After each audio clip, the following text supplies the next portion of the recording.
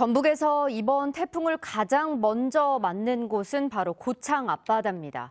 때문에 어민들의 걱정이 큽니다. 고창군 상하면의 장호 어촌계장 표재옥 씨가 전화로 연결돼 있습니다. 안녕하십니까 표재옥 계장님. 네, 안녕하세요. 네, 현재 지금 비바람이 거세졌을 것 같은데 상황이 어떻습니까? 태풍이 역대급이라고 해서요. 에, 제가 한 7시 한 40분경부터 우리 오촌계 해안가부터 90호 항까지 돌아봤는데요. 비바람은 한 번씩 강하게 불고 파도로 파도도 넓게 치는 것 같습니다. 네. 최근 태풍이 고창 앞바다로 직접 북상한 적이 있었었나요? 그렇게 큰 피해를 주고 간 것은 아직 없는 것 같습니다. 네.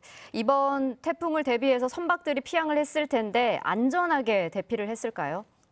예, 어제 오후부터 90항으로 피양 선박에 모여들고 해경분들하고 어민분들이 선박이 잘 묶여 있는지 확인들 하시더라고요. 네. 90호 항에는 약 한 90, 90척 정도 피항한 것 같습니다. 네.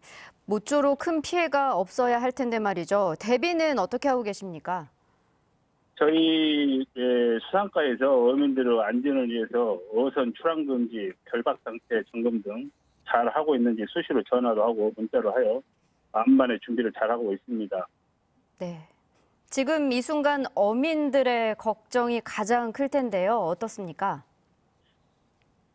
문제는 밤이라서 피해 사항을 볼 수가 없으니 더 긴장되는 것 같습니다.